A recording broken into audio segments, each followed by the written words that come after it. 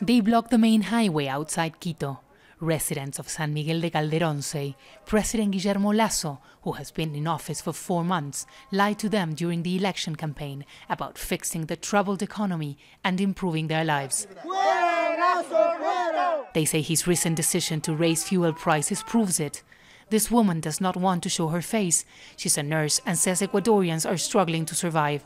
I make $400 a month and I cannot make it to the end of the month. The president increases the price of fuel and this affects us in every possible way. It wasn't long before the police and armed forces marched in. The president declared a state of emergency a week ago to combat rising crime, and protests are not tolerated. The police are using tear gas and rubber bullets to clear the roads now. They're going into this community and going after the protesters. The protesters are saying that President Guillermo Lasso is a banker that is hurting their interests, and that's why they remain on the streets. The government says demonstrators are trying to generate chaos, but those protesting say they just want the price of fuel frozen, along with indigenous communities who want a halt in government plans to increase oil and mining production. They also want the police to stop using tear gas to break up the protest. My grandchildren are inside. One is two months old. They can't breathe. They are throwing gas inside my house.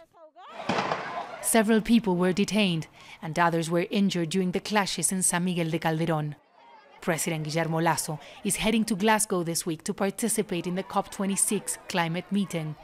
But people here want him to look at what's affecting them directly in the community. We don't have work. We are poor. There are no millionaires here. We all suffer here. There is no water, no electricity. Lasso came to power with a promise to improve the economy and has been trying to pass a series of business friendly laws that will help him get out of the current crisis. He's now asking Ecuadorians to unite.